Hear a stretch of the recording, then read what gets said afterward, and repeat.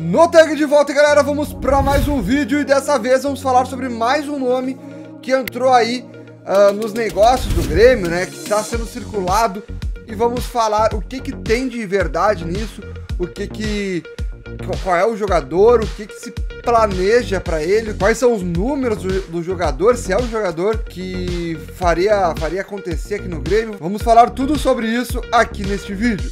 Antes de começar o vídeo, quero lembrar vocês, gurizada, que o vídeo é patrocinado pela ONU Futebol e tem uma novidade, tá? Esse mês aí, começando a Bundesliga, vocês podem assistir de graça no seu aplicativo, cara. Então baixa aí, tanto pelo link na descrição ou pelo QR Code que vai estar tá aparecendo aqui na tela. Isso mesmo, agora tem QR Code no bagulho. O futebol é top, irmão.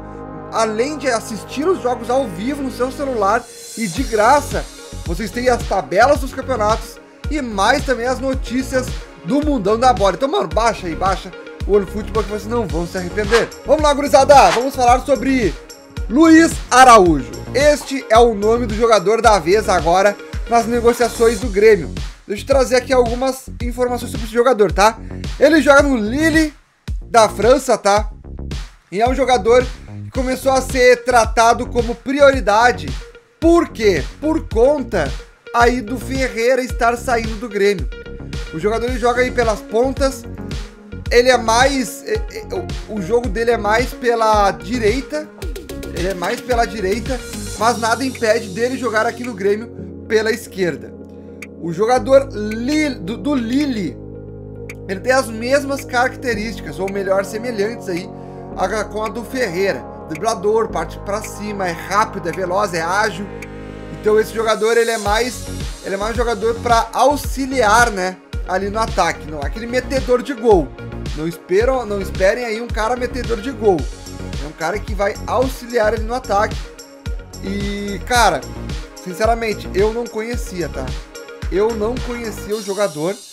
Já tinha ouvido falar, mas nunca tinha visto ele jogar. Vi alguns vídeos, achei interessante.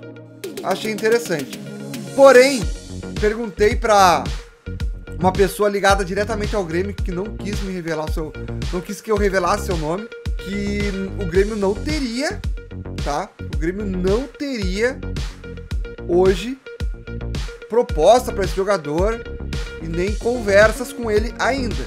É isso que foi me passado. Isso que foi me passado. Conversei com uma pessoa fortemente ligada lá de dentro do Grêmio que me passou, cara, não temos nada conversado hoje com esse jogador, mas não impede do Grêmio tentar. É isso que foi me passado, tá? Porque tem algumas pessoas circulando que o Grêmio já tem proposta na mesa. Essa não é a informação que me chegou. Essa não é a informação que me chegou, beleza? O jogador aí do, do Lille, né? O Luiz Araújo, ele tá. Ele foi muito bem no Lille, ele foi muito bem. Ele tem apenas 25 anos, ele é um jogador novo. Ele é um jogador muito novo. Porém, também, cara, o retorno dele, pelo que andei pesquisando, seria um pouco difícil, cara, por ser um jogador novo, por já estar na Europa.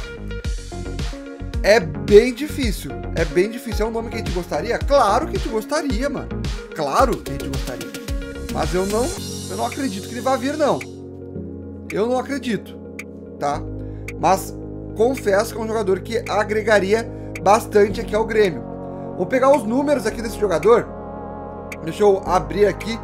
Ele teve uma temporada muito boa, acho que foi no ano passado, ou retrasado, se eu não me engano. Deixa eu só pegar os números aqui que eu já falo pra vocês, tá, gurizada? O Luiz Araújo, temporada de 2020-2021 agora, galera o Lille foi campeão francês, desbancando aí o PSG.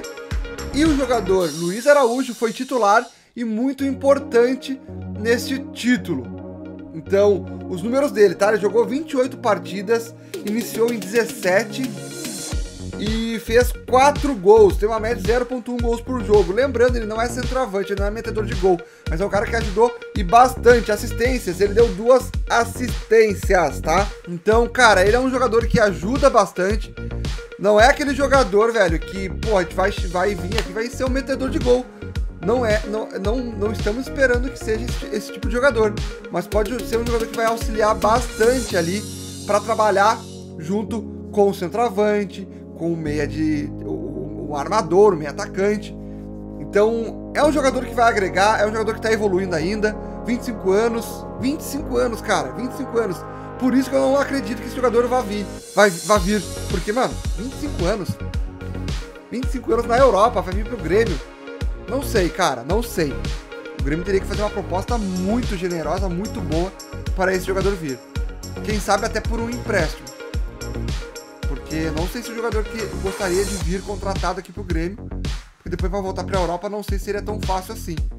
Mas é a notícia, é o nome que está no momento aí pintando no Grêmio. Beleza? Lembrando que nos bastidores me passaram que o Grêmio não fez proposta e não, não levantaram esse nome ainda. Não levantaram.